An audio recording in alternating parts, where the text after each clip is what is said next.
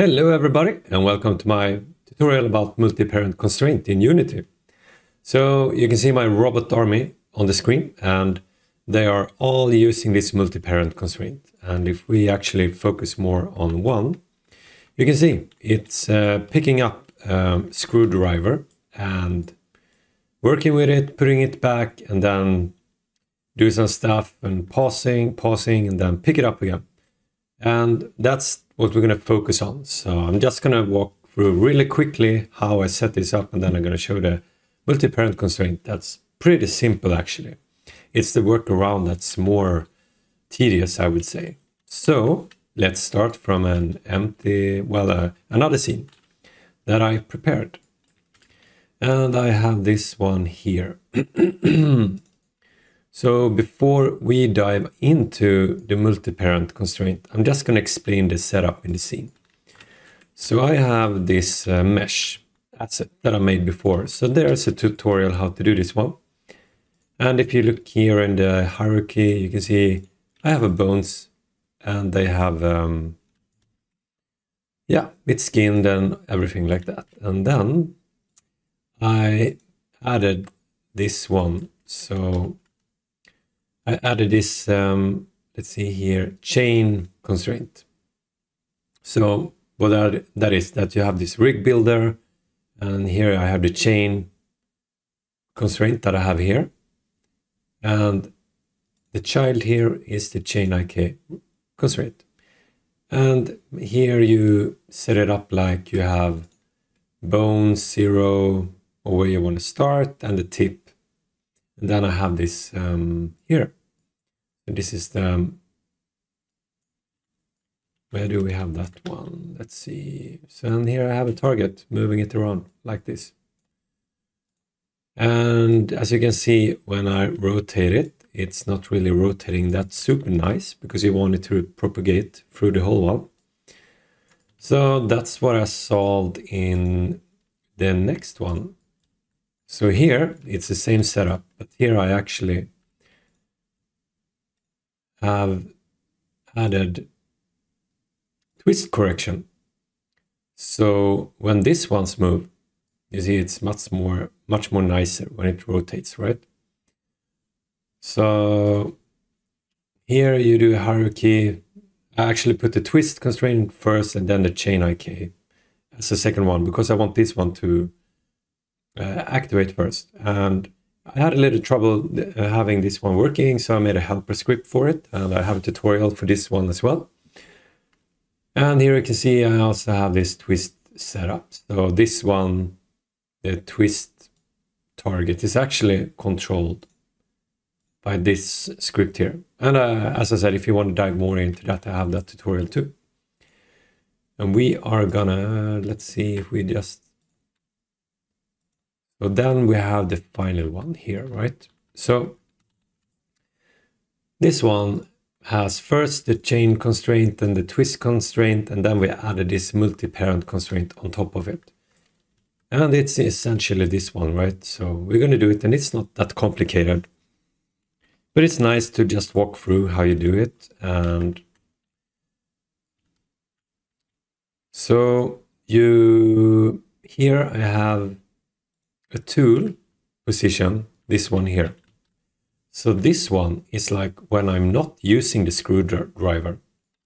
And then I have another position here. And this is when I hold the screw, which means if, um, if I on this multi-parent start to put the weights different position here, then you can control where you want it. So this is how we're going to do it. And so this is the tool not use, tool holding. So you have tool not use here, and you have tool holding, and that's on the bones arm. And then you have the tool red itself, and you have it over here. And we're going to do it uh, from sort of scratch. So I have this one here. So what we have here is we haven't made the rig multi-parent constraint yet. So the first thing you need to do when you have everything set up. So if we just play once, you can see this is what happens here. so the screw is not following, but we have all the animations set up and we just want this one to follow. What we need, need to do now, so here you have the twist and chain already set up. You need a new one. That's going to be the last thing here. And on the game object that holds the animator, you need to have the, this red, well, the tool itself. You can't have it outside. So if I move this one now, you see it doesn't follow, but now it follows. Uh, let's see here. And this is how the component is set up. You need to have it as a child on the animator like this, uh, where you have the animator. So if you want to do flexible setup, I guess you need to have a script that uh, parent it and populate it everywhere where it needs to be, or just hide it. So here we do a game object, an empty one. And it's, it's going to be a rig, and it's going to be, um, what's the name? Multi-parent constraint. So here we are multi-parent constraint const range like that. so the first thing you need to do is to have this rig. And this rig needs to be controlled by this rig builder. So we take the rig, put it here, and now that setup is connected. So here we need to define what kind of rig component it is, and we're going to have multi-parent constraint. So we have, I have prepared the animation and all the positions. So if you look at the tool not use, if you do the mesh render, I have it here. So this is like when it's not used, it's going to be here. And also I have this, um, let's see, tool holding. I have it here. So if you don't really understand this uh, right target here, is actually the controller for the um, this is what I animated and it's actually controlling the chain IK constraint. And if you don't really understand what's going on, you can check my tutorial that's focused only on chain IK constraint. You can find it in, my tutorials. So, um, so this right target has the tool holding position and we have this not use position. Now we just need to have this tool red to lerp between these two positions. And in here, we need to populate them. So we're going to have tool not use. So this is going to be one place where we're going to store it and also tool holding like here. and the constrained object is the tool that we're going to move along. So now by default, you see it has a value of 1 and 1, which means that this tool will be on this position and this position. And because it's 1 and 1, it's going to be floating in the middle here. So if we just play here, now you see that the tool, the red tool, is actually having the weight 1 1 and it's always in the middle of this green 2. And if we know now do like tool not use, you can see now it will always be where the um, tool not use transform is. And if we of course do the opposite, now it will always be down here. So yeah. And uh, you can see this is the default place. So you could, I guess you could use that too. So if you do like this, and then we can have it like, yeah. So the only thing we need to do now is to animate this. And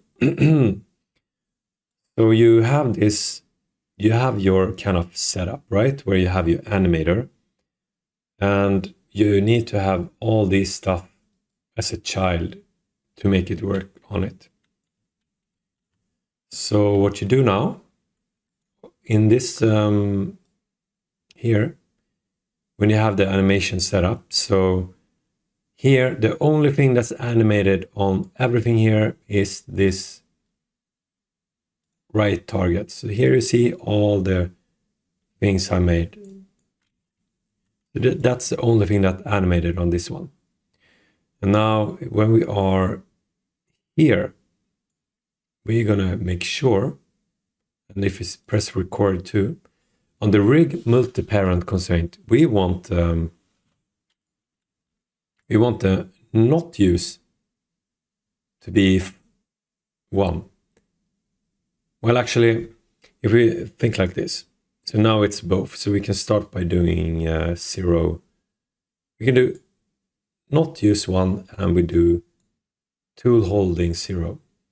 So when we come here, this is where we want to change it. So here we want the holding to be one. And we want uh, the tool not used to be zero. So of course now you see it's it's lerping like this. But what we want to do is just the frame before. Here you do, you want the not use position still be really strong and holding not yet starting. So it's going to do the lerp in the in this part here. So now you see it's going to be like this, and then it's going to be following here. And then when you come back here, you just, so what you want to do, you want to have the holding at maximum. So I just drag it to update the frames here, and then zero. And then on the next frame, you want it to be not use, wait one, and to hold zero. And that's it. So now we will play. Well, actually, we, we I'm going to play like this. So then I know. And I'm going to hide these ones. I don't want these ones to be shown either. It just help mesh to navigate. So here you have it. Isn't it lovely? And actually, I notice it's kind of here, it's intersect. So we could um, just do this target like this. Yeah. Yeah, that's going to be, yeah. And I'm going to do this one like this. It's going to be a little bit quick fix, but you know,